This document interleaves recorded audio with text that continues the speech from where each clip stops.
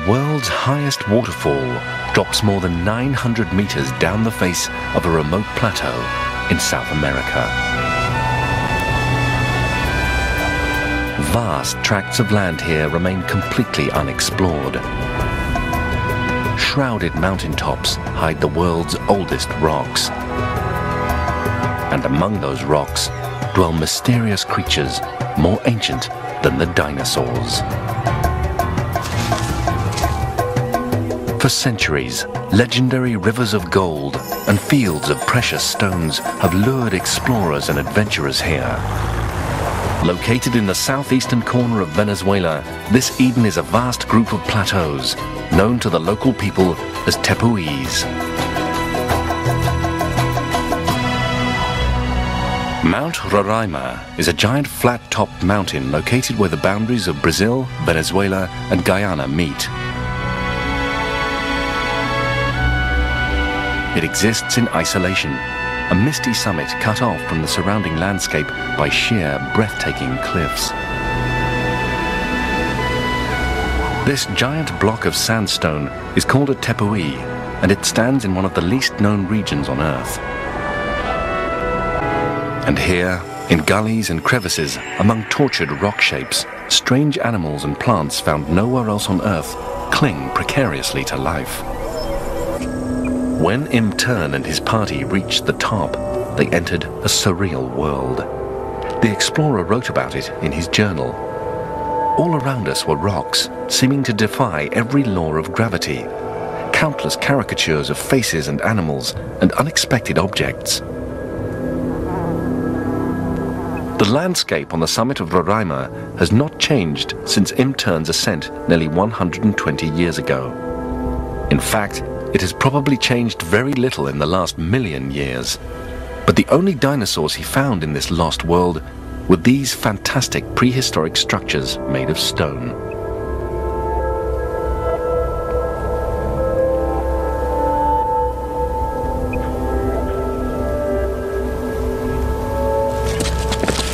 Im Thurn was exhausted and his party had run out of food, so they only stayed on the summit for a few hours but during that brief time, Im Thurn realized that the plants and animals surrounding him were unlike any he had ever seen before.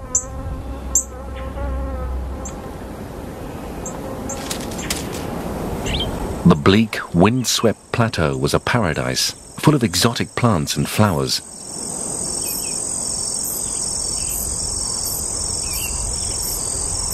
But they all had something in common. They were varieties of plant suited to a harsh and ancient environment.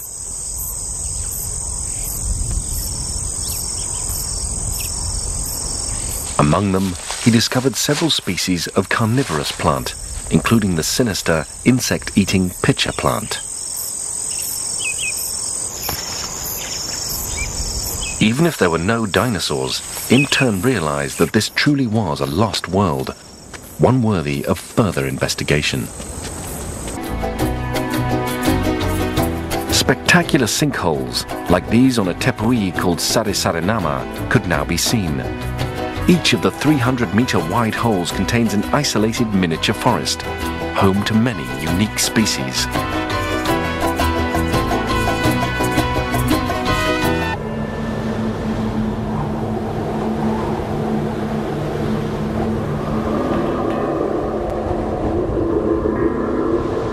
Common observation by those who set foot on tepuis, even among the local people.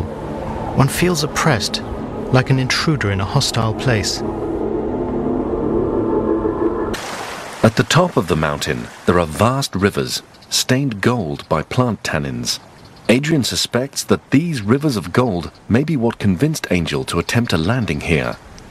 Adrian reflects on his predecessor as he makes his way towards the world's highest waterfall, Angel Falls, named after the man who first discovered it. Here on the top of Devil Mountain, I have a strange, eerie feeling of time standing still. This place really does feel lost in time, unchanged and untouched for millions of years.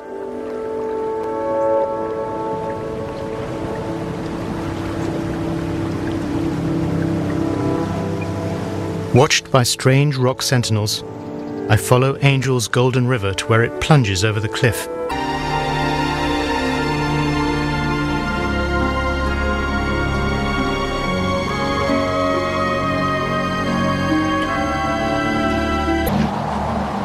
It was at Autana that Adrian first discovered the origin of the Tepuis.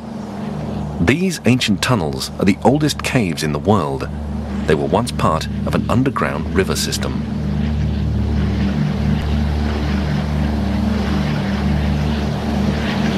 At the time, all land here would have been at the level of Autana's summit. To reach the caves, we descended for almost 1,000 feet down the wall of Autana. The scale was unbelievable. The ledge outside the cave had seemed tiny from the plain, but was covered by trees and boulders. The cave itself was huge, passing from one side of the mountain to the other with a central chamber reminiscent of a cathedral dome.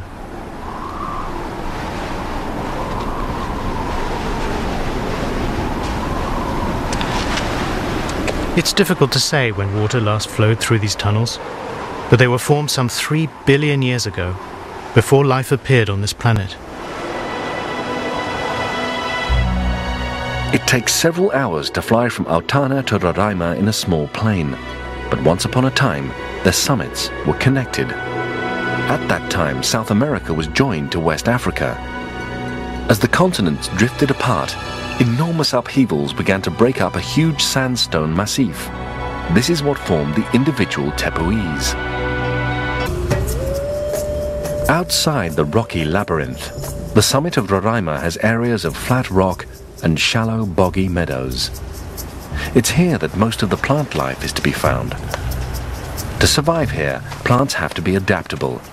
This Stegolepis, for example, has no permanent roots, and its twisted form indicates it has led a nomadic existence, moved from place to place by flash floods.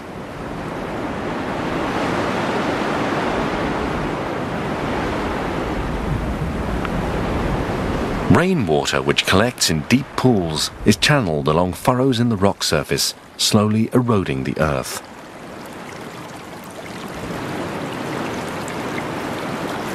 Erosion has also revealed layers of quartz crystals on some parts of the plateau.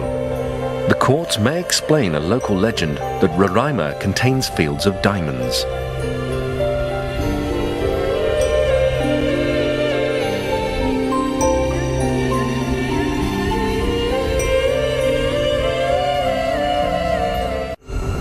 The Tepuis are an exotic botanical paradise, and almost every plant here is found only on Roraima.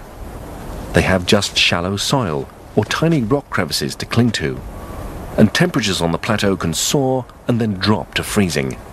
Yet somehow, many species of fragile, colourful flower thrive here.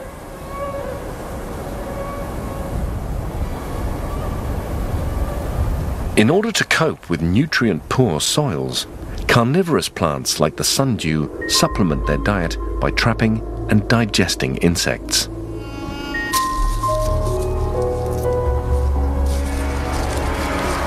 The red color of the leaves attracts the insect, which becomes trapped by the sticky tentacles. The victim's movement as it struggles to escape is what triggers the leaf to close around it.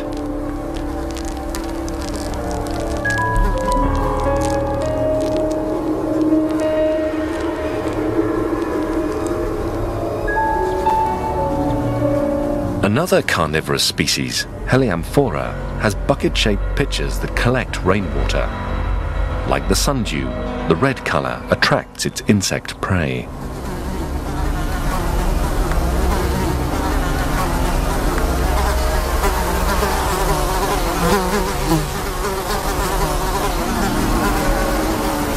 The insect is safe until it crawls onto the slippery inner surface of the pitcher.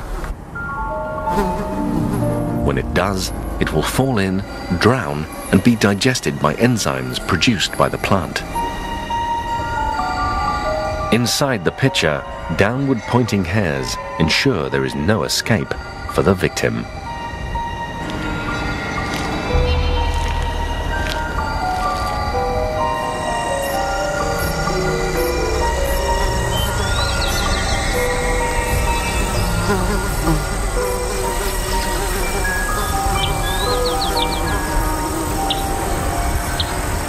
Just as certain plants are peculiar to the Tepuis and often to a single mountaintop, many birds here are also unique species.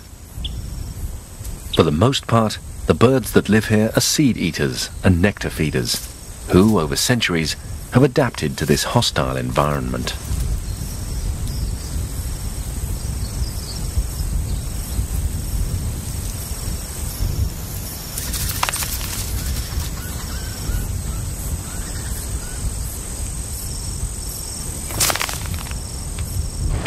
There is one very special animal on Roraima, a creature so ancient that it predates the dinosaurs.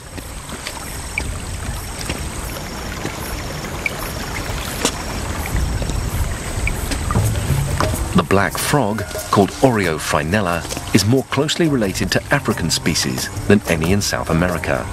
So it has probably lived in this region since before the continents separated.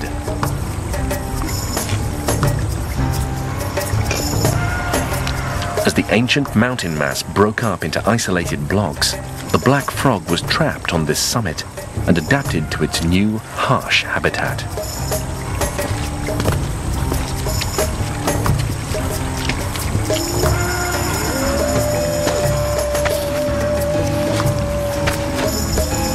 The frog was discovered in 1895 when the first biologists came to Roraima.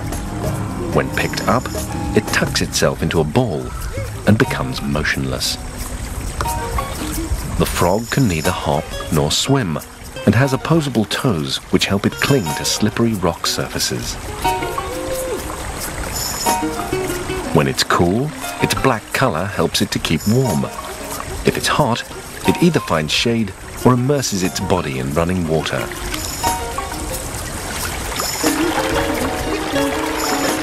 Because of its inability to swim, many of these primitive frogs have probably been washed off the summit by flash floods.